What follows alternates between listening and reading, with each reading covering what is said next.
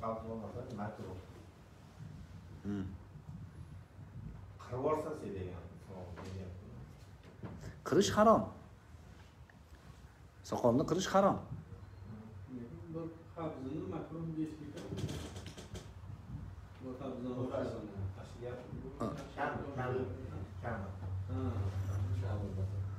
Endi soqol to'g'risidagi bunga o'xshagan ixtiloflar ko'p. Ko'p masalan umumiy ma'noda soqolni sunnati odatiya deganlar ham bor. Bizni mutaaxir ulamolardan ham aytgani bor. Odatiy sunnat. Payg'ambar alayhissalotu vassalom boshqa din vakillariga xilof o'laroq soqolni uzun qo'yib so- e, mo'ylovni qisqartirishni buyurganlar. Buni ham aytishib odatiy sunnat deyilgan. To'g'ri soqolga e, erkak kishini e, ziynati e'tiborli bo'lishi yaxshi. Lekin bu masalalardan qandaydir boshqa odamlarga ta'na qilish masalasini ko'tarmaslik kerak. Chunki boshqa masalalar bor. Masalan deylik soqol qo'yish nima o'zi? Sunnat. Onangizni aytganini qilishingiz nima? Vojib. Siz bilmaysiz bir odam onasi soqol qo'yma deyayotgan bo'lishi mumkin o'g'liga. To'g'rimi? Ona tushuntirolmayotgan bo'lishi mumkin yoki dadasiga tushuntirolmayotgan bo'lishi mumkin shunaqa masalalarda tashqaridan turibsan makruhsan san undaqsan desangiz oilani buzib yuborishingiz mumkin. Bu masala banda bilan olloh o'rtasidagi ish. Haligi do'ppi ham shunaqa masalada. Do'ppini gapiraveradi do'ppini gapiraveradi. To'xta do'ppi man bilan olloh o'rtasidagi ish. Man do'ppini ziynat ekanligini e'tiqodan amalan bilaman. Lekin kiymasligim bu man bilan olloh o'rtasidagi ish. San aralashma meni dinimga. Man bilan olloh o'rtasiga san tushma deyiladi. Soqol ham shunaqa masalalarda. Chunki biz shunaqa jamiyatda yashayapmizki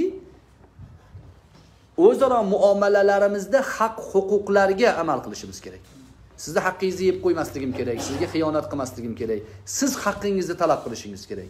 Meni do'ppimga sizni aralashishga mutlaqo haqqingiz yo'q. Mandan so'rang do'ppi aytamanki hudu inda kulli masjid deyman. Oyatni ham bilaman hadisni ham bilaman. Namoz o'qiganda imkon qadar bosh kiyim bilan o'qishlikni afzal deb aytaman mandan so'raganga ham shuni aytaman. Lekin nima kiymayapsan? Nima ishing bor seni kimsan san meni tekshiradigan? Deydida любой odam to'g'rimi man bilan olloh o'rtasidagi ish u. Man san aytgan e, o'zanda yurishga majbur emasman man. Man kirib chiqadigan man boradigan man yuradigan yo'ldan siz ham yurishga majbur emassiz bu masalalar shaxsiy masalalar bo'lib qolishi kerak. Qilsa taqvosi ibodati sabr qildi sunnat. Eyvalloh alloh ajrini bersin. Qilolmasa alloh taolo uni o'zi muvaffaq qilsin deyilaveradi janjal to'polon shundan bo'lgan qadimda ham. Soqolini tagini ko'tarib urishgan qirgan bo'lsa o'ldirishgan.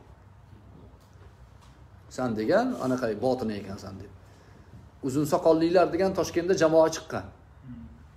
Soqolni uzun qo'yishlik alohida jamoa boshqa ishi yo'q. Na bir ilmiy e, ummatga taqdimoti yo'q. Hech narsa faqat uzun soqol din desa soqol ha salla afzal. To'ppa to'g'ri. Salla islom ummatining ziynati. Hech kim inkor qilmaydi. Lekin boshqa odamlarga ham salla kiydirishga tazyiq qilish endi bu tajovuz bu.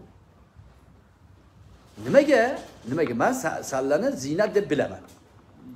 E'tiqodimda ziynat deb bilaman. Ahli sunna val jamoada e'tiqodda qabul qilgan narsani amalda taklif qilish talab qilishga majbur emas hech kim. To'g'rimi?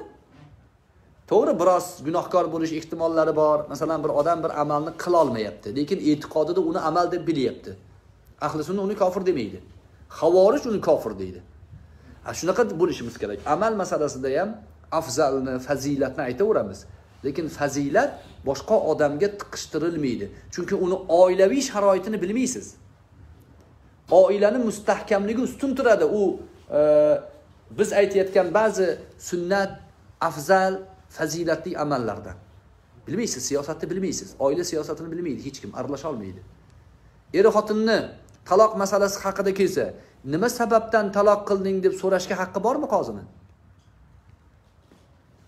Haqqi bormi nima bo'ldi deymiz biz nima sababdan taloq qilganligini so'rashga haqqi yo'q. Nima bo'lganini so'rayverasiz.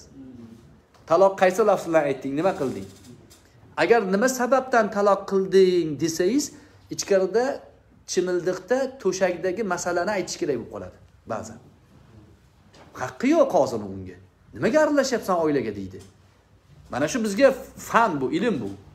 Bir odamning oilaviy shaxsiy masalalariga tashqaridan daxl qilishga hech kimni haqqi yo'q. Shogirdingizga aytishingiz mumkin to'g'ri shogirdga oilasi bilan ham aloqangiz bor. Uni mundoq qil undoq qil deysiz sizni aytganingizni qiladi. Lekin ko'zingizga ko'ringan har bitta do'ppisiz odamni tanqid qilaverish to'g'ri emas.